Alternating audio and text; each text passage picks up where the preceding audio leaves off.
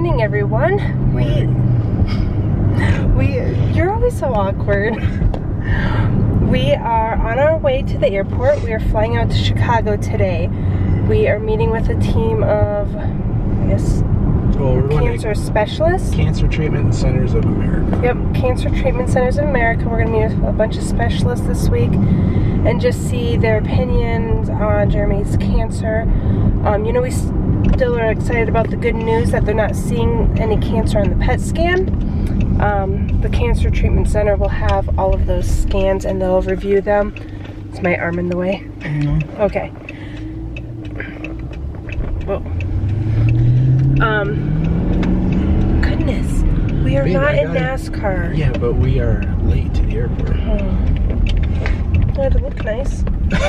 you look amazing. Um, yeah, so what was I saying?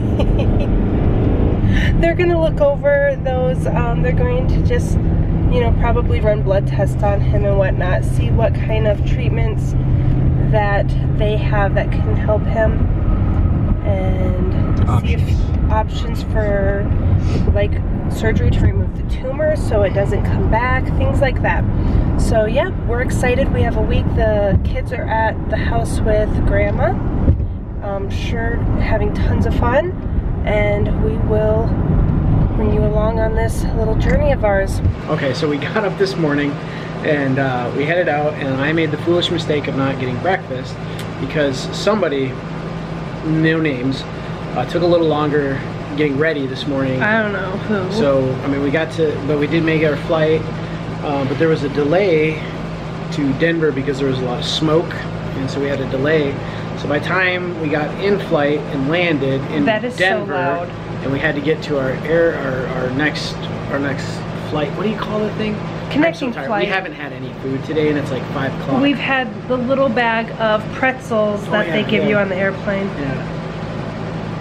I'm so hungry. And we, and so we don't have a car, and so we're like, oh, we'll just get an Uber and go Three So- miles down the road. Three miles is fifteen dollars. One way. Yeah, five dollars a mile. Like so, that's not happening. So, anyways, we're doing. We did DoorDash. So we did DoorDash. We mm-hmm. got Chinese food coming. And but I'm anyway, excited so about that though. Panda I am Express. all. I am all over the place. I am all over the place. Here's the oh wait, we did we did buy some chips and candy bars Mhm. from the little concession Don't stand judge me. There's no options. down at Don't the judge. front desk in the hotel lobby because we are starving. That hasn't even touched my stomach. Yeah. I, it's like still growling. Yeah. Have you noticed every time we get on here, I'm gonna bring it closer because the air conditioner is really loud, but it was hot in here. No. Every time we get on here, like the first words out of our mouth are, Food. we're so hungry. We are hungry. I'm hungry. Like, do we even eat ever? yeah. But we're in Chicago. Well, actually not Chicago. What is this? Zion. Zion? We Yeah. flew into North of Chicago. Chicago. Oh. What are you doing? You're like petting my Oh, face. sorry. um, we're so tired. Yeah. The second flight, the first plane was definitely a little puddle jumper. yeah. It was really squished, and it wasn't too bad actually. I would No, I would say bad- it wasn't neither, squished. neither flights were bad. It just didn't have a lot of seats. The second flight was like one of those big Boeing jets, and I mean they had all Crazy big. yeah, but it was funny because we were like in the middle aisle, and this lady like sits down and like decide like she kind of like decided that half of my seat was her seat. If she wasn't a big lady. No, and so she's yeah, so she just kind of like like kept leaning over and. Or maybe she was cold and just trying to warm up. I It don't know. was, freezing in yeah, there. it was so cold. And I'm a cold climate guy, so it was pretty cold for me. But anyway, so long story short, we made it. We just haven't eaten today, so we're tired, but we're here.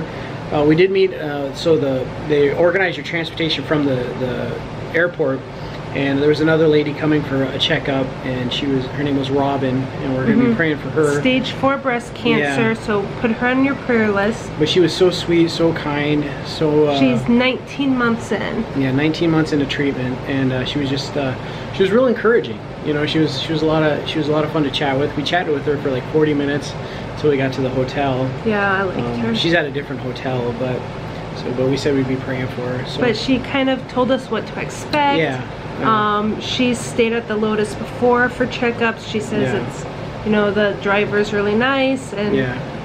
no, it was a blessing meeting her. Mm-hmm. Um, kind of get a little precursor on what we're A little insight, I guess yeah, you could say. what we're gonna expect. And What's funny though, because the the driver like pulls up, and he totally hits the curb and blows out his hubcap, his plastic hubcap, and then he gets out and he's like, "Oh, that's not good." it was crushed. And even the lady was like, "Oh, that's Yeah. a first. and I'm like, "Ah, it's just plastic." Yeah. Because she's like, "Is this gonna hinder our ride?" And I was like, "No, it's plastic." So No, it, It was was, it was great. I got a haircut. You can really see it in the camera. It looks good. Does it? Yeah. I see the picture. Anyway, But apparently there's lots of cancer patients staying here. I've seen quite a few come through the lobby. that one kid was kind of heartbreaking. Yeah. So I mean, she was up on her feet and stuff, but just I don't know, kind of, kind of. I don't like seeing kids Yeah. with cancer. It makes me so sad. Yeah. But then that's what the lady on the bus said about us. Because she's like in her 60s. Yeah, and then she said, And seeing she us, says so seeing, young. you know, young people like Jeremy. But she was very excited to hear about a PET scan, and she was. That's what you know, and I, it was it was kind of one of those like. And she does Trim moment- Healthy Mama. Yeah, she does trim. But it was kind of one of those humbling moments because she was like, you know, you know, she's praying for the results I'm getting, and I'm not 19 months in. Yeah. I'm a couple months in, so you know. But I'm really excited about tomorrow. My sister's on her way. Jeremy's sister, Misty's to- on the we get to way. see the Millers. We're gonna see some more friends. Yeah, Um, the Millers are coming down to for dinner. mhm. Plus, we get to meet all kinds of cool doctors and nutritionists, and Yeah, she said we're really gonna like the like holistic doctors Yeah. and the nutritionists because they've really educated her a lot, and that that's something I'm kind of passionate about is holistic and nutrition. I'm passionate stuff. about living. I'm just excited to be educated. That's a, I- that's yeah. gonna be a lot of fun. I'm me. not gonna remember any of that stuff. Nope, but I will. I'm gonna soak it all in like a sponge. Well, here's the thing. I am not giving up my beef. Steak. No. I have been eating very consistent amount of steak. No, I shouldn't say steak. Beef. I've been eating a consistent amount of beef. And look at my results. So we're gonna just say what I'm doing is working. So all you vegetable eaters out there, eat more beef.